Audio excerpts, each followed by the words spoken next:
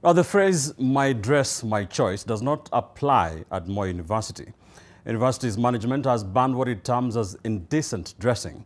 The move has sparked mixed reactions from students, with some calling on the management to consider extending the duration for its implementation to allow them to adjust. NTV's Gabriel Kudaka has details of what has been banned from the varsity premises and why.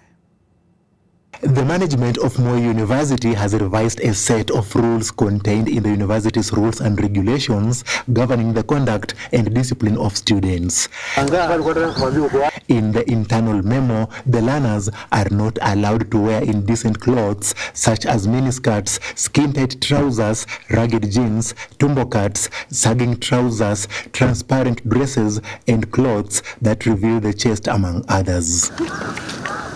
Slippers and plastic shoes, commonly known as Crocs, have also been banned within the university premises. The memo further urges staff not to serve students who are dressed indecently. But what prompted the move? After oh, observing what was happening amongst the students, we felt that as a student's welfare, we need to shape up the students Another thing that informed us of writing this letter is about character building.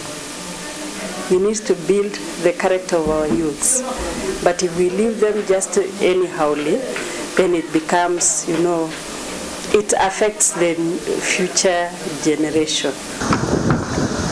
The management says the move is also aimed at addressing some health challenges. Cases is very cold and some of them were dressing almost half naked, what we called uh, t-shirts with straps.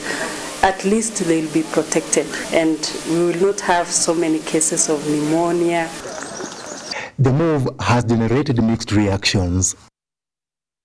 Mimi nikiangalia kwa perspective ya classes, naona ni vizuri watu wavae poa, ndo wengine pia waweze ku concentrate. And you can imagine the picture when we have students dressed anyhowly or dressed in just casually wearing crocs, wearing tumbo cuts. What is that message to the world? It is uncalled for and we, we support, we are in support with the memo that was just released by our dean of students. Hiyo memo ambayo ilitolewa juzi na halmashauri ya shule, kivyangu mimi napinga kwa sababu ni kwa nyumbani kule ama ni kwa shule ya upili, ilikuwa najua kwamba mtu akienda chuo kikuu kuna uhuru, kuna uhuru wa kuvaa mavazi venye ambavyo unapenda.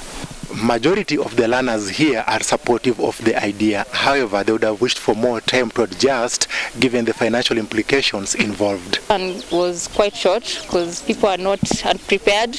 A lot of people, especially like car crocs, unajua it's the most comfortable wear. So people are not prepared and shoes right now are quite expensive. Naona tungepewa muda kwa sababu wengine yale mavazi ambayo hawayataki ndio some of us wengi wetu tuko nazo.